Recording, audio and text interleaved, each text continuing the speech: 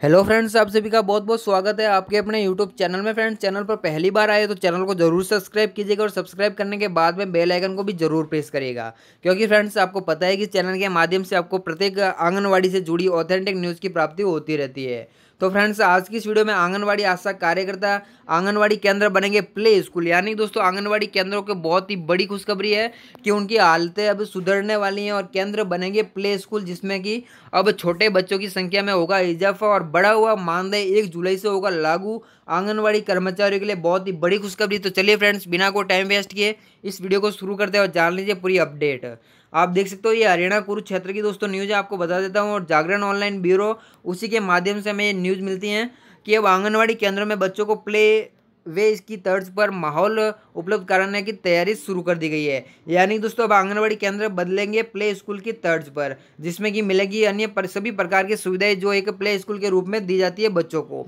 कि doctor D C S S Phulia ने कहा है कि आंगनवाड़ी केंद्र में प्ले वे स्कूल की तर्ज पर बच्चों को सुविधाएँ और माहौल देने का प्रयास किया जाए, ताकि अभिभावक शून्य से पाँच वर्ष तक के बच्चों को देखरेख के लिए निजी संस्थानों में जाने वाली बजाय आंगनवाड़ी केंद्रों में अपने बच्चों को लेकर आए। यानी दोस्तों, इस प्ले स्कूल केंद्र के रूप में इसको विकसित करने का प्रमुख कार्य ये रहेगा कि जो भी आंगनवाड़ी अभिभावक अपने शून्य से पाँच वर्ष तक के बच्चों को अपने निजी संस्थानों में जाने देते हैं, उनको अब आंगनबाड़ी केंद्रों में अपने बच्चों को लेकर आएँगे। इसके लिए महिला एवं बाल विकास विभाग के सभी अधिकारियों और कर्मचारियों को विशेष योजना के तहत काम करना होगा और कार्य के नियमित रूप से समीक्षा भी करनी होगी। वह शुक्रवार को लघु सचिवालय के सभागार में महिला एवं बाल विकास विभाग की विभिन्न योजनाओं की समीक्षा को लेकर अधिकारियों की बैठक को संबोधित कर रहे हैं। इससे पहले डीसी को महिला एवं जिला विकास विभाग की जिला कार्यक्रम अधिकारी नीना कपूर ने विभाग से संबंधित सभी योजनाओं और प्रोजेक्ट के बारे में विस्तृत रूप से फीडबैक भी रिपोर्ट भी दी है। इस रिपोर्ट पर चर्चा करते हुए डीसी और डॉक्टर एस फूले ने कहा है कि कुरुक्षेत्र ज़िले भर में सभी आंगनबाड़ी केंद्रों को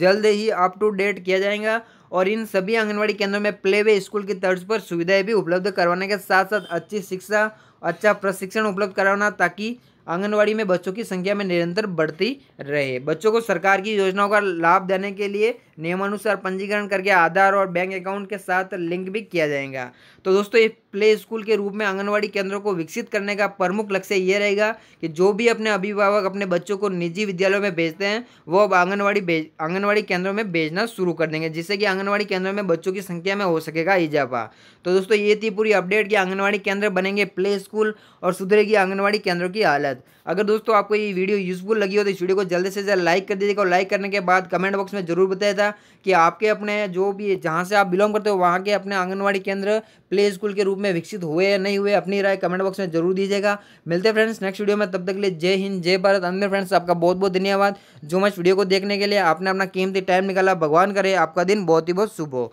Thanks for you watching my video